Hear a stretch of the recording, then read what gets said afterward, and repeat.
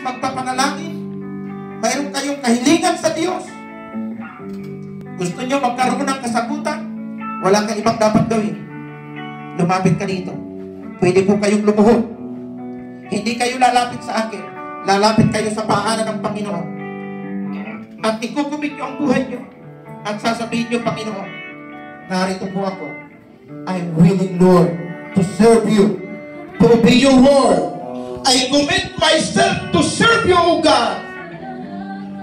Ang aking mga pagkukulang, ang aking mga kasalanan, ay aking sinusuko sa iyo, Panginoon. Sige po, kung nais niyong maranasan ang fresh anointing from the living God,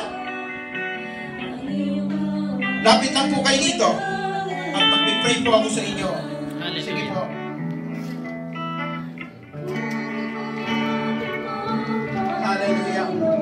Hallelujah. Oh yes, Jesus. Hallelujah. Sumabay po tayo sa panalangin.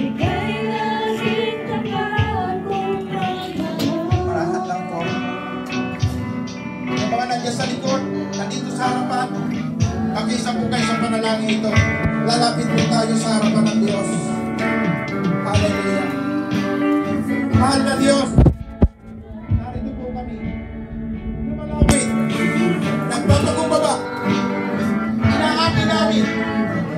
aming mga pagkukulang, ang aming mga kasalanan, ang aming mga kailangan.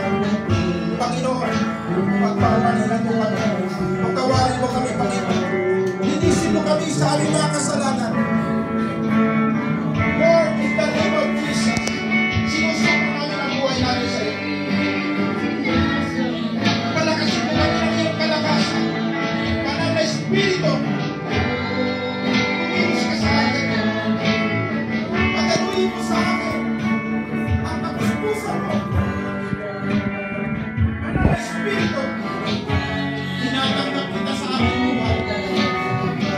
Sa akin.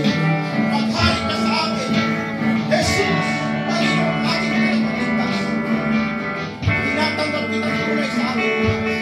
Maghari ka sa